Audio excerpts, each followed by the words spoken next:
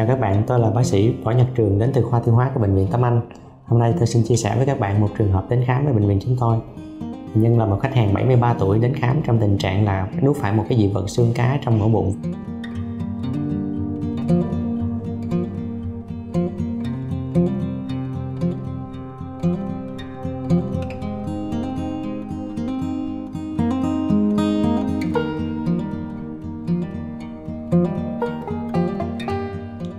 Cách này là hai tháng.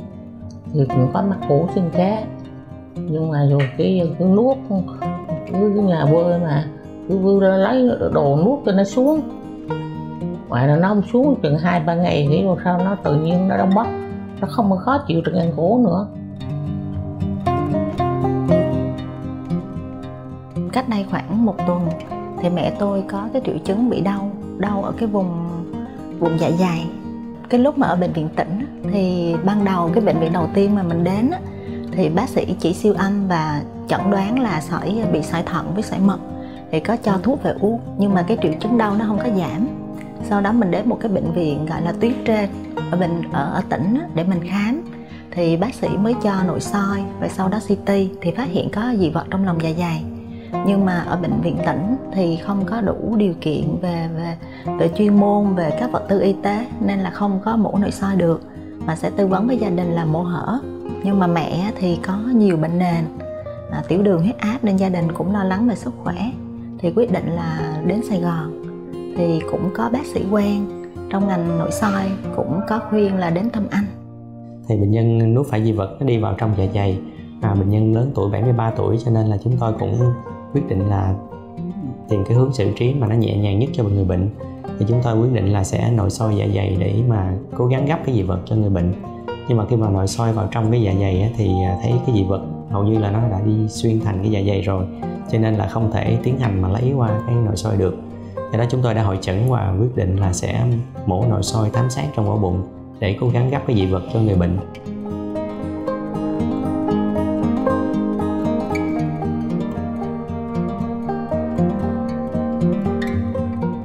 Bác cũng rất là nhanh. Bác cũng cũng cái lúc mà khám á, thì thấy bác cũng có sự có phương án chuẩn bị luôn chuẩn bị trại trong trường hợp mà à, lấy không được thì chuyển lên để mổ. Nên là mổ trong ngày luôn. Trong ngày hôm đó là chuyển lên để mổ cấp cứu.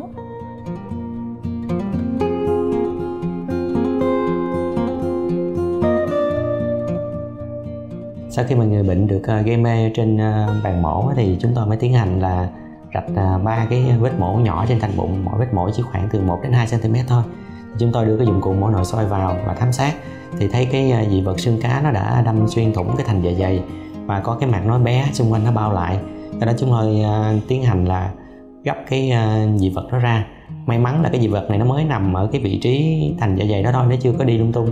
Nếu như mà cái dị vật này mà nó để thời gian lâu hơn nữa, nó có thể nó di chuyển đến những vị trí khác trong ổ bụng nó có thể gây ra những biến chứng khác nữa ví dụ như là nó sẽ đâm thủng ruột hoặc là nó tạo những ổ áp xe nữa. Cái đó ở bệnh nhân này thật, thật sự ở giai đoạn này cũng còn may mắn là mình có thể lấy được một cách rất là nhẹ nhàng. À, thì cái dị vật xương cá nó kích thước dài khoảng 3 cm thôi. Mặc dù chỉ có 3 cm nhưng mà nó cũng có thể gây phiền toái rất là lớn cho người bệnh. Thì chúng tôi tiến hành lấy ra cũng mổ cũng nhẹ nhàng trong vòng 15 phút là có thể kết thúc phẫu thuật rồi.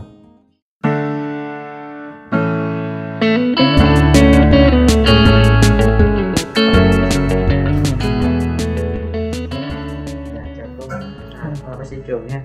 À, cô mới mổ xong để lấy cái dị vật đó nó có thấy khỏe chưa? Dạ cảm ơn bác sĩ khỏe rồi à con coi cái bụng cô chút xíu nha. Ừ.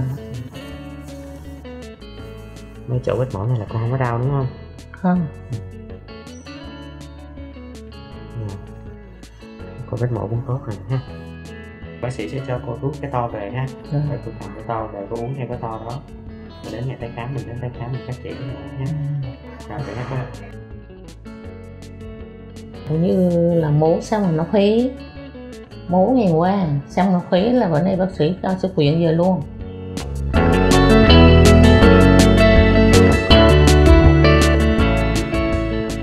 Gia đình cũng cảm ơn bác Hùng rất là nhiều và cảm ơn đội ngũ của bệnh viện Tâm Anh.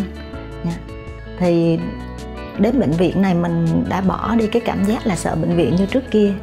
Dạ và hiện nay thì ca mổ cũng đã thành công tốt đẹp thì cô cũng hầu như là đã hồi phục hoàn toàn rồi. À, nhân đây thì bác sĩ cũng xin gửi lời chúc đến cô là sẽ mau hồi phục ha. À, để mình trở về cuộc sống sinh hoạt bình thường với con cháu ha.